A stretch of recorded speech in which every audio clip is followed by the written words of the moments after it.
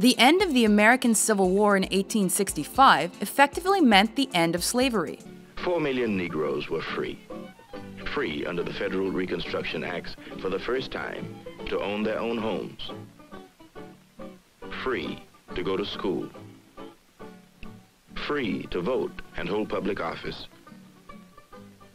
But African Americans were in for a long struggle before they were finally awarded equal rights. As of 1870, all eligible male citizens were able to vote. However, blacks were discouraged to by violence and eventually legal stipulations.